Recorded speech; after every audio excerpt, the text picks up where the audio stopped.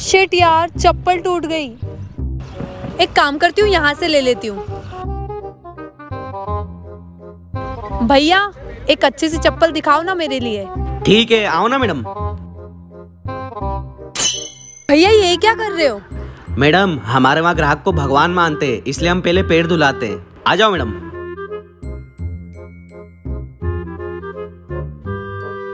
Madam ये चप्पल तो सिर्फ़ आपके लिए बनी है।